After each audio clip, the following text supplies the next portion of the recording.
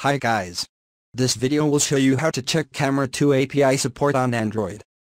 Before proceeding to enable Camera 2 API, we will recommend you to first check whether your phone supports Camera 2 API or not. Because if your phone already supports Camera 2 API then you don't need to enable it again.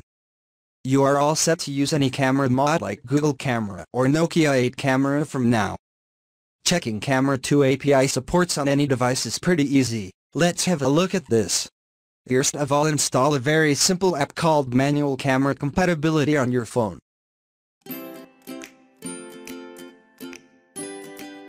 Once the app is installed, open the app and click on the Start button.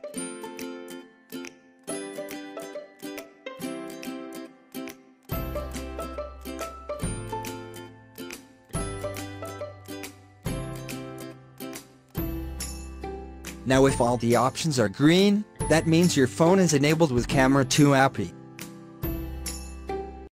And if all the options are red then Camera 2 API is not enabled on your device. Yes, it is pretty simple to check the Camera 2 API compatibility on your phone.